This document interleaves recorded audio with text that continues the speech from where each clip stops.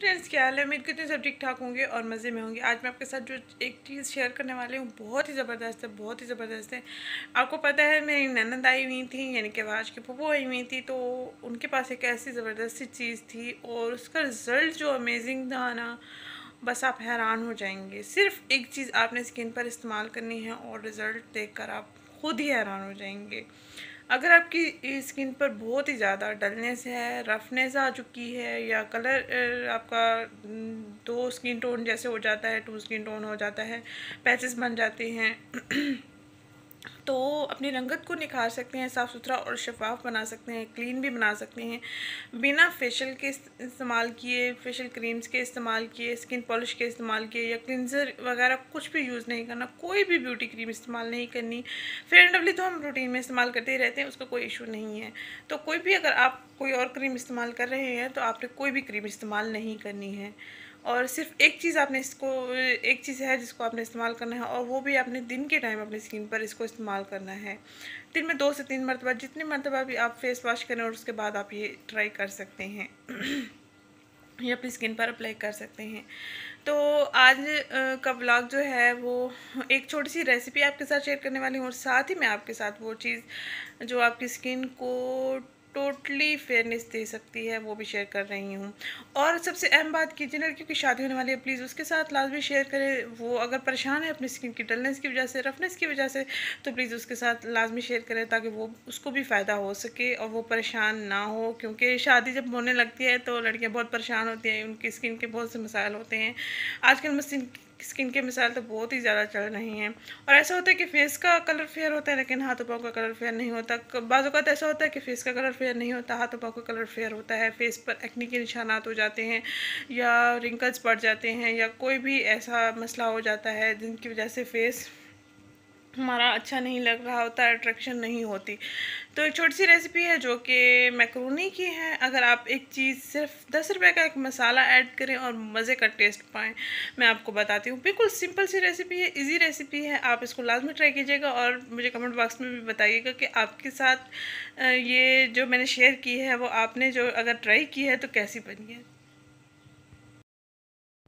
दो चाय के चम्मच मैंने ऑयल लिया है और उसमें मैंने चिकन को बोनलेस चिकन लिया था, उसको मैंने छोटे छोटे बाइट्स में देख सकते हैं, काट लिया और फिर लहसुन, अदरक का पेस्ट बना के इसमें मैं भून रही हूँ, ये देख सकते हैं।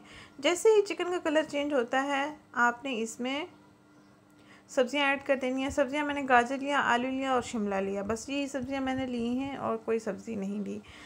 तो इनको हमने अच्छे से भून लेना है ताकि ये गल जाए। कुछ कुछ लोग जो होते हैं ना, वो इन सब्ज़ियों को उबाल के इस्तेमाल करते हैं तो टेस्ट नहीं रहता फिर सब्ज़ियों का।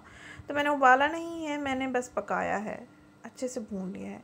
ये देख सकते हैं मैक्रोनी ऑलरेडी मैंने उबाल के रख दी है। कैसे उबाली है? मैंने पानी लिया है, पानी में दो चम्मच ऑयल डाला है और उसमें मैंने नमक डालकर बॉईल कर लिया है। ये आपने सिर्फ़ दस रुपये का चाट मसाला पैकेट लेना है और दस दस रुपये के आपने तीन साशे ले लेने हैं। केचप के और कैचअप चिली वाला ले लें सिंपल ले लें, भी कोई इशू नहीं है। सब्ज़ियाँ हमारी जो कि देख सकते हैं, गल चुकी हैं, टूटी बिल्कुल भी नहीं है। आपने आराम से चम्मच हिलाना है और ये देखें अब सब्ज़ियाँ जब बिल्कुल गल चुकी हैं तो हमने इसमें ज़रूरत नमक, चाट मसाला और लाल मिर्च का पाउडर ऐड करना है। बस यही तीन अज्जा आपकी मैक्रोनी को ज़बरदस्त टेस्ट देंगे अमेजिंग टेस्ट देंगे। और हमने अब ये मिसाले जब मिक्स हो जाएँगे तो हमने इसमें ऐड करना है केचप और चिली सॉस बहुत ही आसान सी रेसिपी है। दस से पंद्रह मिनट में आप ये तैयार कर सकते हैं। कोई भी मेहमान आ जाए, आप तैयार कर लें फ़ौर ही। अब हमने अच्छे से केचप को और चिली सॉस को अच्छे से मिक्स कर लेना है। चिली सॉस हमने ऐड करना है।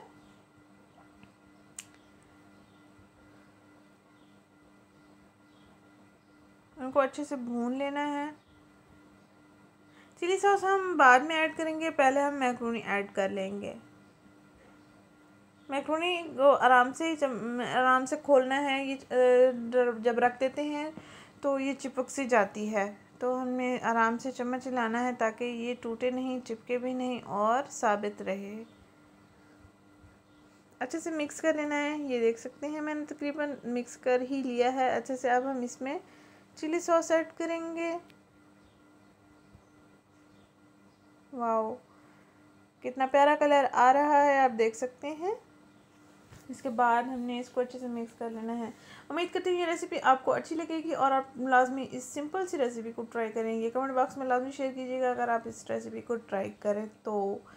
मेहमान आ जाएँ या बच्चों को भूख लगी हो तो दस से पंद्रह मिनट में अमेजिंग सी ये रेसिपी आप बना सकते हैं।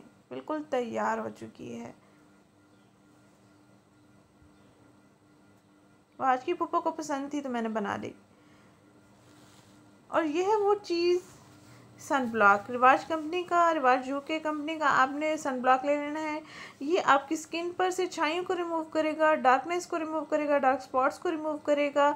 आपकी स्किन पर डार्क पैचेस अगर बने हुए हैं या स्किन का कलर टू टोन हो चुका है तो वो भी आपका ठीक हो जाएगा। ईद तक आप इसका इस्तेमाल करें, दिन में। लाजमी इसका इस्तेमाल करें, आप ख़रीदें। जिन लड़कियों की शादी में होने वाली है, उनके साथ भी लाजमी शेयर करें, ताकि वो भी यहाँ से ये ये देख सकें और बाय करके अपनी स्किन को खूबसूरत बना सकें। फेशियल कराने की ज़रूरत नहीं पड़ेगी, कोई भी ब्यूटी क्रीम इस्तेमाल करने की ज़रूरत नहीं पड़ेगी। आप इस्तेमाल करके देखें हंड्रेड परसेंट आपको रिज़ल्ट मिलेंगे इन